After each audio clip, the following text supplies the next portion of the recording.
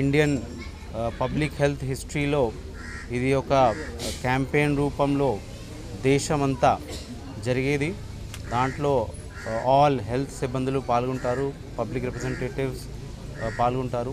దానివల్ల మనము మార్చ్ రెండు వేల పద్నాలుగులో మన ఇండియాని భారతదేశాన్ని పోలియో ఫ్రీగా డిక్లేర్ చేయడం జరిగింది. కానీ చుట్టుపక్కన ఉన్న కొన్ని దేశాల్లో మనకి పాకిస్తాన్ ఉంది ఆఫ్ఘనిస్తాన్ ఉంది ఈ రెండు దేశాల్లో ఇప్పుడు కూడా పోలియో అనేది ఉంది కాబట్టి కొంత మైగ్రేషన్ అయ్యే అవకాశం ఉంది. అక్కడ నుంచి ఇన్ఫెక్షన్ వచ్చే అవకాశం ఉంది కాబట్టి ఇప్పుడు కూడా ఈ క్యాంపెయిన్ అనేది మనము రన్ చేస్తూనే ఉన్నాం.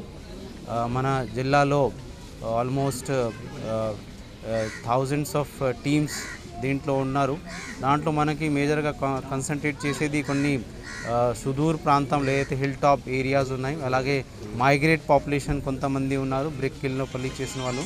వాళ్ళపైన ఎక్కువ కన్సన్ట్రేషన్ చేయాల్సిన అవసరం ఉంది.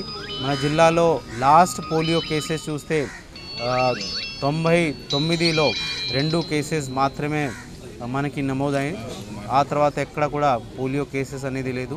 ప్రజలందరూ ముందుకు వచ్చి మనకి already house to house campaign కూడా జరుగుతుంది. ట్రాన్సిట్ క్యాంప్స్లో మనము బస్ స్టేషన్స్ కానీ రైల్వే స్టేషన్స్లో కూడా కన్సన్ట్రేట్ చేస్తున్నాం.